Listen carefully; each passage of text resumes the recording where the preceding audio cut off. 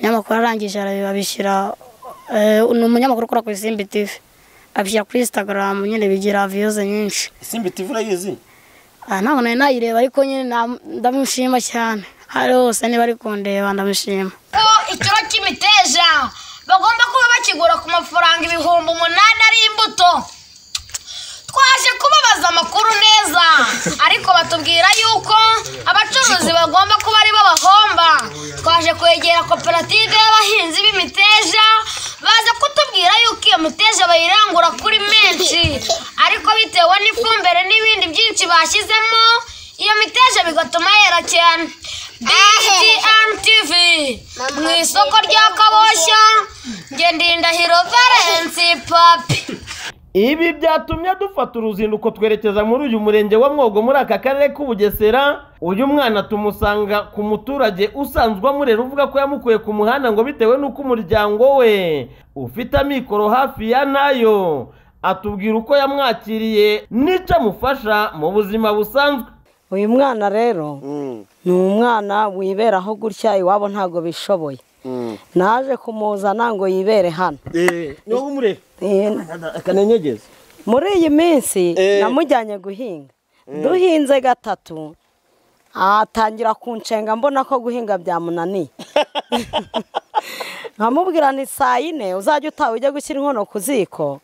Ubundi nanjye mpingure nsanga bihiye. Arangije arambwira ngo agiye gufurira umuhungu wanjye mbega ari we wamufashe kuri watsapu ni we wamufashe. Twe ko yarahingaga saa yine nkamubwira ntitaha ujye mu rugo. Ah, kandi yatubwiye ko yiga ubwo bifatanya gute no kuba yibera mu ari mu kiruhuko muri iyi minsi. Eh, twatangiye guhinga. umva rwose biradushimishije biranadutunguye. Eh, Mm. wowe se wari usanzwe unzi ntago nkuzi. Nta n'umuntu n'umwe nzi muri mwebwe. Eh, nta televiziyo ugira? Ntayo. Cyakora ku bintu by'ishuri byo nta bushobozi rwose. Uko umureba uku niko ajya kwiga. Nta bushobozi. Uriya niyo uniforme yambaye?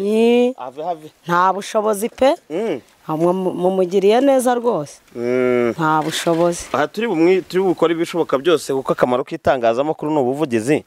Kandi urumva ko afitemo n'impano.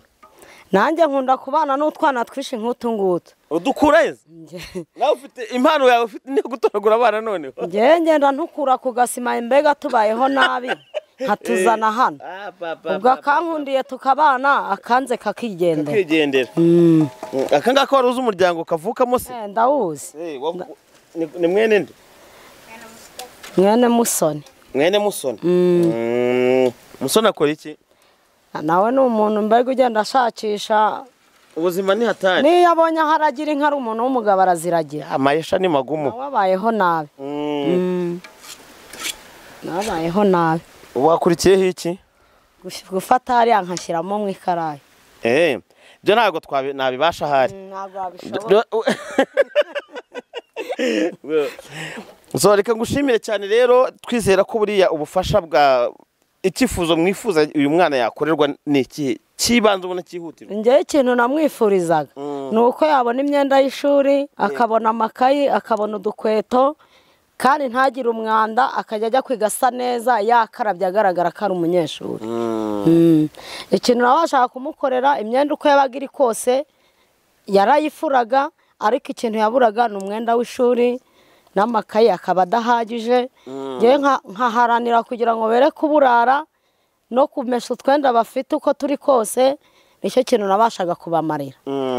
Nta bundi bushobozi nanjye nabaga nabaga mfite nabamarira ariko gusa uko yari ari kose yajyaga kwiga asa neza. Uyu mwana ushimangira ko afite impano idasanzwe yatwicaje muri sitidiyo avuga ko yari yicayemo ubwo yakoraga iyi nkuru. Nizera ko ibintu biraza kuba ruzungu. Harya ubu ahangaha ni ho? Hano nari nicaye. Bigenda gute? Niho nari nicaye mvuga bwa butumwa nyine mvuga ndimo nda- ndatangaza amakuru y'uburyo imiteja eh, yari yareze cyane bigatuma itangwa kuri makeya. Mm. mm, bitewe n'uburyo koperative yari yarashyizemo ifumbire kera cyane. Yes nizera ko mumeze neza mwe mwese mwese mukurikira bitang tv still ndi ndahiro valence papi nk'uko bisanzwe. Ndi mu murenge wa mwogo akagari harya? Mu kagari ka kagasa. Nk'uko bisanzwe ku mbuga nkoranyambaga cyane cyane kuri youtube facebook ndetse n'ama instagram. Mwakunze kubona ishusho irimo gucicikana cyane y'umwana w'umuhungu yari yiyicariye hano muri sitidiyo ze. Byabaye ngombwa kugira ngo uyu munsi ntere intambwe ya mbere mbashe kuza kureba uyu munyamakuru nawe ngo ni ndahiro valence papi mu isoko rya kaboshya. Ariko ahangaha rero munyemerere mbanze nakire umunyamakuru mugenzi wanjye atangire yibwira abadukurikiye. Araza kutwibwira muri rya jwi ryawe uri mu isoko rya kaboshya urihangana udusubiremo ya nkuru yawe y'imiteja. Ese ubundi ushaka ya mikoro yawe iri he? Mikoro yanjye? Eh. mikoro yanjye sinzi ubu ngubu aho ibitse ariko nyine nta kibazo n'iyi irakora. Banyita bizimana emmanuel. Mm. twakurikiranye videwo yanjye. Ndabashimira kandi n'abashyizeho viyoze zabo ndabashimira cyane. Mm. nk'uko bimeze rero na yo naje. Ufite imyaka ingahe y'amavuko? Mfite imyaka cumi n'itanu y'amavuko Mm. Eh, nari ndimo ndatangaza nyine imiteja uburyo yari yarezemo koperative yarashyizemo ibikoresho byatumye yera cyane bikaba kariya kavidewo mwarakitayeho cyane nta kibazo mwarakoze Mm. nagira ngo dusubiremo ya nkuru y'imiteja nyirizina Mm. ubwo twageraga mu karere ka bugesera umurenge wa mwogo twaje gusanga mu isoko rya kaboshya imiteja yareze cyane. Ubwo twabonaga bafunze myinshi nyamara twebwe tukaba tuyibonera kuri makeya. Twaje kwegera koperative ihinga iyi miteja ariko nyamara baza kutubwira yuko baba barahinzemo baba barahinze bashyiramo ibintu byinshi kugira ngo iyi miteja ibashe kuzamuka. Abahinzi nabo bakaba bishimiye yuko babyaza kandi bashyizemo ibintu byinshi imiteja igakura nyamara twebwe twibazaga yuko bashobora kuba bahomba. Ariko baza kutubwira yuko byose babifashwamo na koperative n'ifumbire baba bashyizemo. Iyi miteja twasanze ku isoko yari ifunze ari myinshi cyane kuruta uko twebwe tuyibona. BTN TV mu isoko rya kaboshya ndindahiro valence papi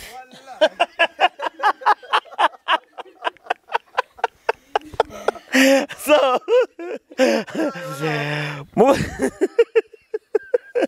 impamvu wumvishe ugomba gusubiramo ijwi ryanjye ndetse ukanasinya uko nsanzwe nsinya inkuru mu buzima nabwo ngeze muri uyu murenge byaje biti nanjye nishimiye yuko nakubonaga kuri btn tv nkabona inkuru wakoze zi- nziza zirimo ziratwika.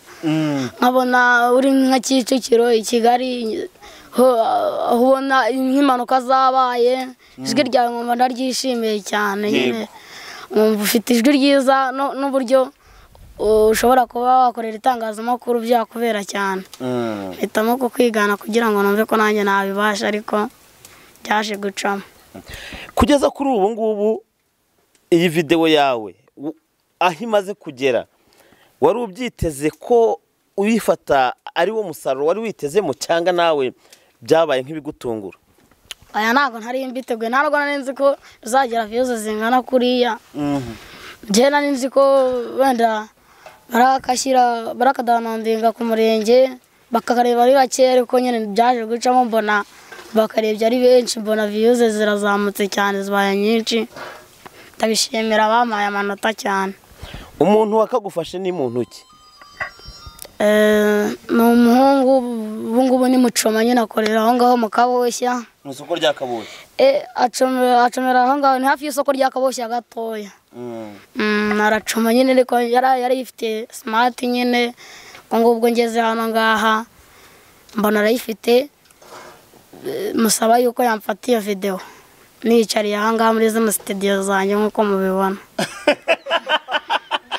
None se ikintu cyaba cyaraguteye kukumubwira uti mfatira aka videwo yagafashe wamusabye kugira ngo afate aka videwo bitanga uwuhe musaruro kuri wowe? Numvaga nshaka gushimisha abantu kugira ngo ndebe yuko wenda baramo amanota ashobora kuba nashobora kuba navuga nka ndahiro valence papi. Ngiye kubona ah, gusa byari n'igihe kirekire iriya videwo isohotse. Ni umuntu wabidanadinze ejo bundi nyine abiha umunyamakuru. Umunyamakuru arangije arabishyira eh, ni umunyamakuru ukora ku isimbi tv abishyira kuri instagram nyine bigira viyuze nyinshi. Isimbi tv urayizi? Ah, ntabwo nari nayireba ariko nyine ndamushima cyane. Hari hose niba ari kundeba ndamushima. Wumva ni ukuri cyangwa se mu kwiga kawe uzakora iki? Numva nziga. Nkaba na- nashobora kuba nkaba umunyamakuru ubundi ni byo bintu nifuza Mm. Mm. ntago iyi videwo yatangariwe na eh, n'abanyamakuru gusa cyangwa se n'abaturage bagiye bakabona kubera ko iyi videwo yanageze kuri minisitiri w'ubutegetsi bw'igihugu bwana gatabazi jean marie vianney reka nze ndebe twita ye uko yavuze kuri aka kavidewo Eh, nyakubahwa minisitiri w'ubutegetsi bw'igihugu gatabazi jean marie vianney gatabazi jean marie vianney yaravuze ati very talented. Rwose uwo mwana umutoze afite impano. Kuba byonyine iyi videwo yawe yararebwe na minisitiri w'ubutegetsi bw'igihugu. Ubwo wari umuzi? Aya ntabwo muzi nta nubwo nari nabibona ku ifoto. Ariko nyine nawe yarakoze.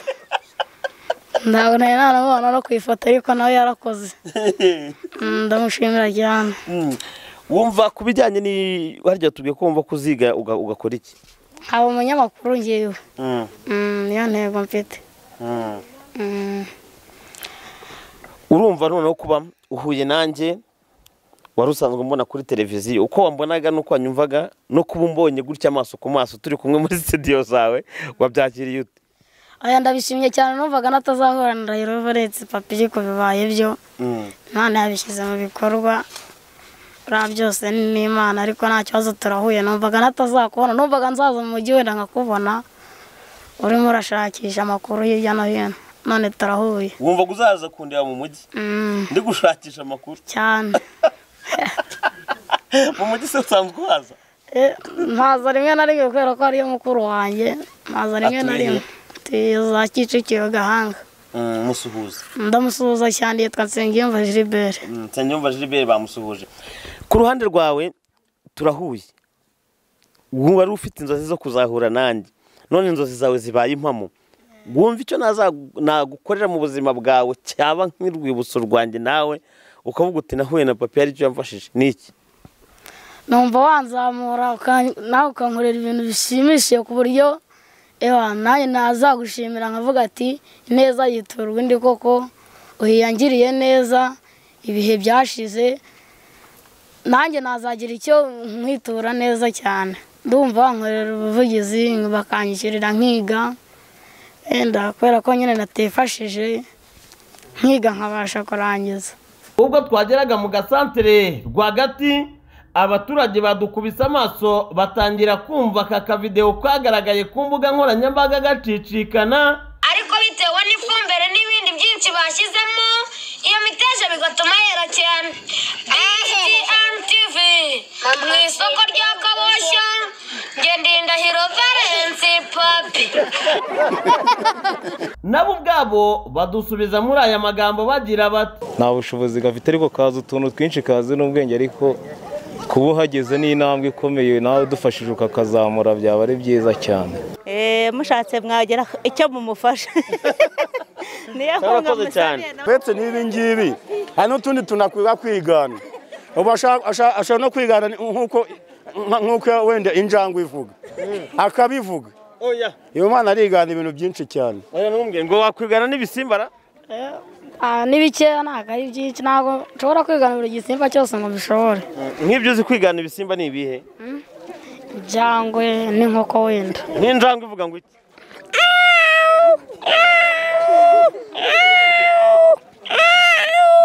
Ikibazo cy'abana usanga bagaragaza impano zitandukanye ariko kuba babona babatera inkunga zikaba zazamuka cyangwa zikajya ahagaragara ni ikibazo cy'ingutu ari cyo abaturage basaba ko ibi byakagombye gukosorwa abafite impano nk'izi bakaba bakwitabwaho.